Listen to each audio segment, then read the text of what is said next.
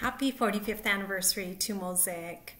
Uh, Mosaic has had a long history of um, phenomenal uh, community service, a lot of innovative programs of which DIVERSEcity has had an opportunity to be um, many in many partnerships with.